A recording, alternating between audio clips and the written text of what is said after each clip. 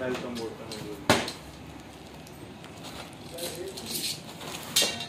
Ma'am ने वो कहा था मतलब मरे वाला जो था ना फ़ोटोज़ मैंने बोले थे कि वो मैं कर दूँगा कोई बात नहीं।